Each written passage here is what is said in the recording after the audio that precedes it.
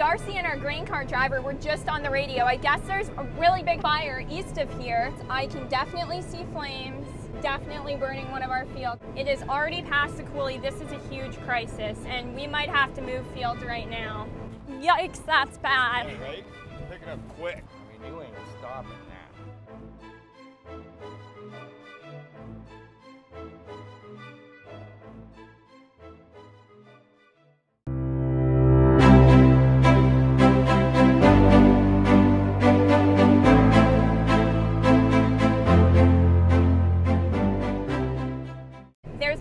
truck driving out to it. It's I'm headed west right now, so when I turn around, I'll be able to see and maybe show you.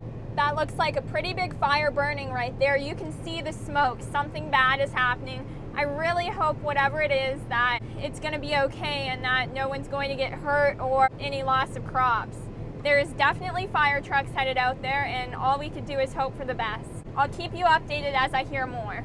There's the fire. Uncle Chris just said he's going to Yeah, yeah, side of the coulee, way into the coulee. he's I going was gonna say, it looks like it's in the coulee now. He's going to go get the disc and help our neighbors, our really, really nice neighbors. We think it's on their property. So we want to do everything we can to help, and that would mean taking the disc over there. It's across the coulee, which means it's actually farther than it looks, but it's really moving quickly into the coulee, and it's getting so much bigger just since I turned this corner. So let's hope for the best. I really hope everything's going to be okay. That's about the worst thing you can have happen at harvest time. And boy, is the smoke just billowing up. That is absolutely crazy. Oh my gosh. The fire is already in our field, my uncle just said. That is scary. Wow, it's passed through the coulee. I can see the flames. Oh my gosh. Wow, that's scary. Oh no. This is so scary. Look at that fire. This is the worst part of harvest. I am super nervous. I can definitely see flames, definitely burning one of our fields. It is already past the coulee. This is a huge crisis, and we might have to move fields right now. Chris has got the disc. Oh my gosh, this is scary. I know my dad's probably completely freaking out right now. I'm gonna stop the combine and get out once I finish this wheat swath. We've got the disc headed over, and I think, oh gosh, I cannot believe how a- that escalated so quickly. I'm getting out of the combine right now to see what's going on. Yikes, that's bad. Yeah, right? Pick it up quick. I mean, I'm not getting in front of that with this old water truck. I mean, you ain't stopping that. I saw flames from the combine, Grandpa. I saw the fire. What? I saw flames from the combine. What does he want? Did, did he say anything on the radio? Or? There, there isn't any good places to hide the combines here unless we want to pull these ends here and disc in front of it. You know? Yikes. Pull, we could pull them up there off the road, the other thing. Well, If that gets over there, she'll get this whole country. Oh, yikes. Yeah, I was in the cab right there and I could see I could see him too, Kay. Oh, yikes. Well, they're in the summer fallow up there. Or no, not not in Jerry's or not. Maybe it's on summer fallow right now. Let's uh, uh let's, let's go with traffic.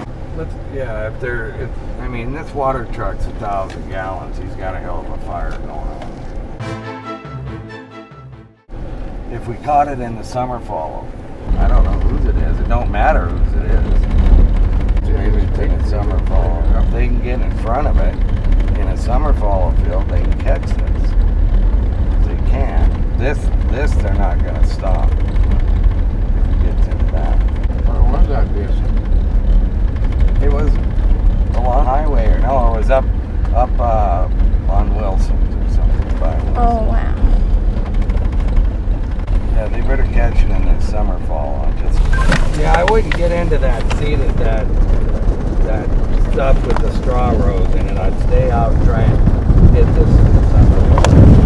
never seen a field fire before. You're seeing one now. That's bad. You gotta take on the parts you can get. I see two discs right now. What are you gonna do about it? Nothing. I just get on the top side of that, the upwind side, and cut it off, and then I'd work the get in there and work. That that's just too much fire. Look at that that fire tornado better pictures than this. Is the scariest thing I've ever seen. No. Oh, wow. It's all through there, too. Okay, well, I don't want to be four miles away from these combines if this thing's getting down here. We're two miles in here now. Well, that's burning pretty hot and heavy there. I'd cut it off on this end and then you can go work on the other because the wind is switching, you know, north, south, and it's blowing now too. Maybe we should go get my pickup we drive around in this stuff.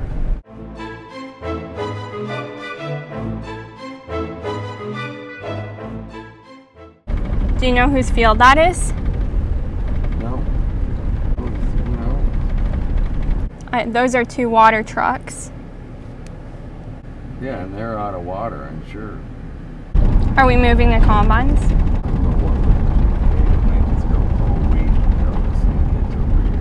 If it gets here, that'll be bad.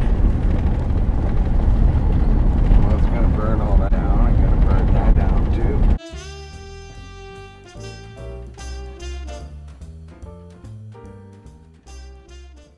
I'm gonna go and try and set this combine because we can't use it. I'm not. Uh, I mean, I could sit around here. I could go park in there. That's the place to park right there, Kate. Where the green weeds are. Well, no, but you know, I don't know what's going on. Chris is going, well, I can run that combine. I said, I, I need to set it. It ain't even been in wheat. We don't know. Might have bearings out. Do you want me to keep going around how Chris had I'll thought? just move out of there and you take my yeah, but just go like I was. Yes. I wonder if we should go get my pickup so I have, I don't have a radio. Just in case, yeah. pickup. Well, I want a radio. Um, let's go get it. Now we're getting my dad's pickup. So we have Extra things to burn. yeah, extra things to burn down. We've now got Campbell's spray airplane going through to try and help put this fire out, which is so kind. What was that, Dad? Mike Campbell just went over his airplane. Well, he can get in and dump some on some stuff that people have a hard time getting to. Yeah, he can. Wow, that's a bad fire. My dad just said on the radio it looks like it's picking up again. Fires are so volatile, I mean, you have no idea what they're going to do ever. It's pretty scary. Wow, this fire is bad. I really hope it doesn't burn into the wheat. If it burns into that wheat, everything is going to be burned up. There Campbell spray plane goes by again. It's probably going to get more water. The fire's not looking good at all. As you can see, all of the neighbors are coming in to try and help. Tons of discs are over there and fire trucks. And my grandpa and I drove down with my dad on that road and we went right up to it. That field right over there is actually one of ours. And if it gets to this wheat here, we won't be able to stop it. Here's the combine with duals on running. This is my dad's new combine. There's my dad's new combine with duals running. Yes, it is a lot better. It feels like it's not going by so slow. My dad just asked me if it's better to have a friend in the field, meaning another combine, and it's so much better because these swaths go by a lot faster. The combine cab reeks of field fire smoke right now. I don't know why we're continuing to combine, but it looks like the people in the field next to us are too, and we want to just get this off the ground just in case it comes over here. My Uncle Chris was Jade, it's lunchtime or supper time, so why don't you come over here? We're parking for dinner right now. There's my dad with his new combine with the duals on it. There's the grain cart. And the fire looks to be going down considerably. They've got a lot of discs over there, and my Uncle Chris is still over there. There's my dad's new combine going by. A disc broke and then it catches on one of those springy wipers, so I have to remove the wiper before the disc will turn again. Uncle Chris is still trying to help put out the fire, and he accidentally broke an arm of the disc and the disc. No. I don't, we might even have a new disc for that. And I do have the new wiper things and arms and everything, The sun is really. Well, for now, right we just removed the wiper so we can use the disc in case of fire. The sun is very beautiful. I'm gonna disc uh, fire break between that and the lentils. Our cart driver accidentally forgot to dump after two loads from the combines. Over at Markstadt, that's where I'm go. So I'm sitting here waiting because my dad was the third dump and then the cart driver had to go and dump. And my dad already made it all the way around. So I think I'm gonna have to back up and pull into this picked up part of the field because my dad's going to make it over here before the cart driver even comes to dump. Oh no, a tire on Darcy's trailer is flat. It's not loaded with grain though, so that's good. Was it that one tire, Darcy? I didn't hear that. You had that bad tire, was it that one? Yeah, it was a bad tire that went flat. Dean just drove this tandem in and look at the size of my dad's auger. That is just super long. I cannot believe it. I'm here with dad and we had a really big Kate's Ag dad. Kate's Ag's dad, yes. and we had a really, really big field fire. So what is your kind of thoughts that were going through your head that day? that they weren't going to stop it. Luckily, the wind switched and there were a couple discs around, and it was the wind switching that really saved everything, Kate. Because it just didn't push the fire into the stuff that they couldn't have gotten it out in. You know, it burned some wheat down there though. And five fire departments came out. Yeah. So it was crazy. It's the first field fire I've ever seen, and a really big one at that. Dad's got his Milky Ways. What field fires do you remember growing up? Just uh, they happen every year, Kate. You know, you just hope it ain't happening in your field to you. you Yes. Because it can get really expensive. Some people charge for straw, and you know, if you, you know, it's just expensive. When It's dangerous, is what it is. Yes, very dangerous. I think there was at least five discs and five water trucks out there. But water trucks aren't much help when you're trying to put out a fire that big. How would you put it out with the disc? Well, you got to slow it down. You disc in front of it, and then it, it gets to a place it can't burn that fast, and then the water trucks come in and get it out. You know, once in a while you can get them out if you catch them early. And wind is a real killer for it, you know. Yes, and it was windy that day. Yeah, but it switched, you know, and then it slowed it down, and they got in front of it and got it out. And it did burn some of our summer fallow Yes, it did. But you know, I'm, and lots of other people's as well. yeah, probably. We're just lucky it didn't come across the road, burn the crops, the combines, everything. Well, that's why we I wanted to go back to the combines. That you know, I just gotten this thing in the field. I hadn't cut anything. My dad just got his new combine that exact day, and he was you were right when to the fire started. I just pulled in, and so I had to stop and Try and rea- figure it out. reassess, reassess. Yeah. Yes, exactly. But then when we couldn't help much, we just went back to cutting because that's what we do with combines. How did you make the decision? Because we were only, what would you say, a mile away from that fire?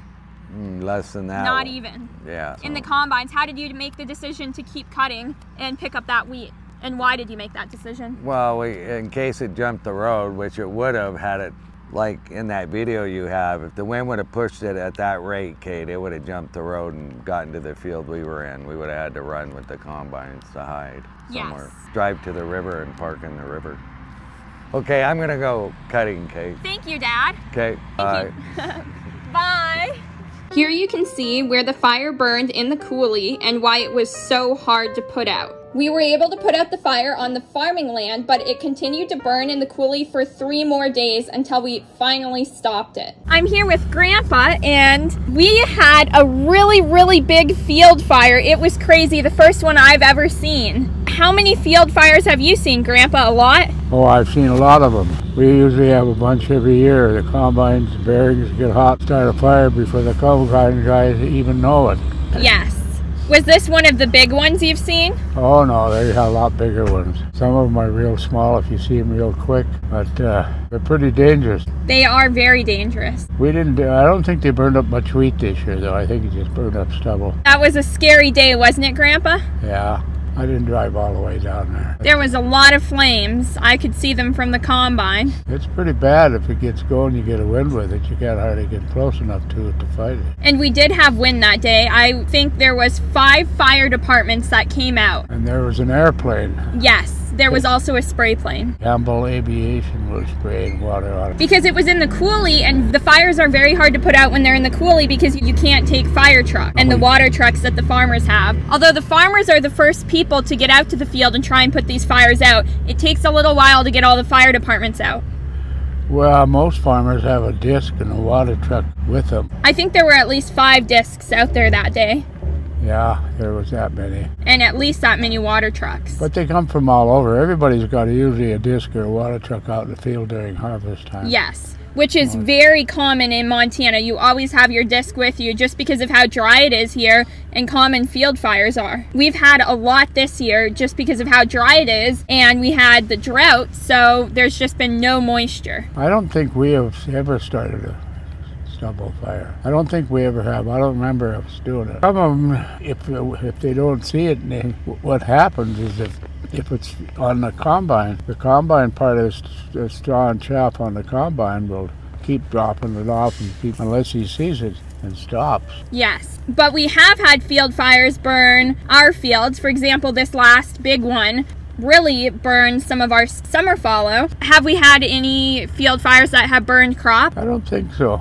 I don't remember. I remember the neighbor one time got a fire burned a bunch of our stubble. So we've been pretty lucky with fires. Oh yeah, we've been real lucky with fires. We haven't had any there. I, I don't recall of us starting any fires. We have had fires in the combine, but we've caught them early enough to not start a big fire. Yeah. And that's really how these fires start is a bearing goes out, which is one of the moving parts in the combine, and then it's just metal rubbing on metal and it starts a fire. Oh yeah. That's mostly how it starts is from the machines in the field. Bearing goes out. You know, a lot of these bearings you can't see if they're once in a while burn up a combine. Yes. Did you ever see that picture in the shop of that big tractor burning up Oh no, I didn't. in the office in the shop? I'll have to look at that. There's a great big, uh, it's a Big Bud. It's all full of flames. Wow. They can be quite frightening. Oh yeah, you get you get wind with it, and yeah, you got to be careful. You get a tractor or something like that in there, and you can't get out of it. You might burn up your equipment too. You know. Yeah. Thank you very much for the interview, Grandpa. Okay, try me again sometime. Yes, I will. Okay. This fire probably burned around a thousand acres. It even burned some of our neighbors' wheat, which is really sad, but it also burned our neighbors' summer fallow and our summer fallow. This grain bin is actually ours and it's on our field that was partially burned by this fire. My Uncle Chris disked all around it to make sure that the fire didn't burn the grain bin down.